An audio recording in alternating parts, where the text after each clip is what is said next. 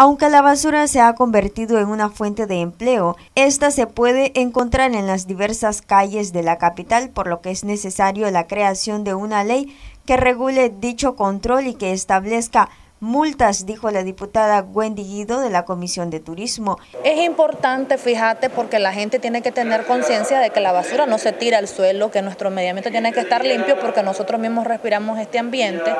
y, lamentablemente pues este, lo, lo, hacemos, vos vas a ver las cantidades de basura y también creo que también tiene que ser un trabajo conjunto con el Estado que todos los lugares públicos, las paradas de buses, eh, las terminales de buses, las universidades, donde se aglomera mucha más gente, hay que tener estos contenedores de basura para poder reciclarlo y saber exactamente dónde va cada uno. De hecho, aquí la Asamblea tiene políticas institucionales que tienen que ver con el cuidado del medio ambiente y ojalá vayamos profundizando más y haciéndolo llegar a toda la población, que tengamos conciencia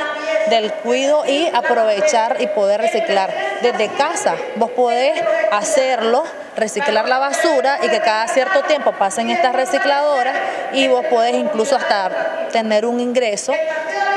sabiendo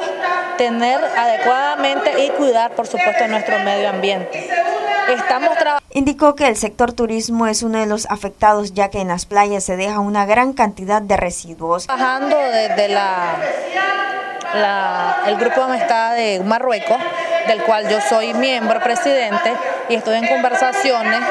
con el, encargado para América Latina, se llama Mohamed. Eh, este señor tiene mucho interés de poder ayudar a Nicaragua y ojalá eh, podamos por ese sentido hacer mucho trabajo, porque también aunque yo soy miembro de la Comisión de Turismo, sabes de que las playas son las que más sufren más en tiempos de, de verano